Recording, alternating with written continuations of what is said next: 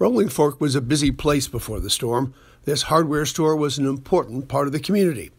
Today, there's not much left, as the tornado reduced the building to a pile of twisted beams.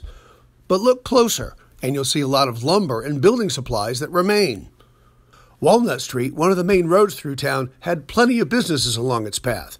Today, you can tell the tornado cut a diagonal line across the street, taking everything in its path. Closer in, you can see the Green Apple Florist and a hair salon. Today, there's nothing left of either business. In the upper left, the courthouse as it was. In the lower right, the courthouse as it stands today. Still standing, but with significant damage. And the Rolling Fork Police Department building before the storm.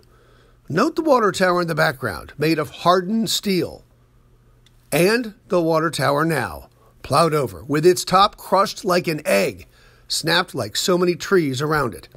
It shows us a remarkable picture of a very remarkable tornado. Dennis Turner, the Delta News.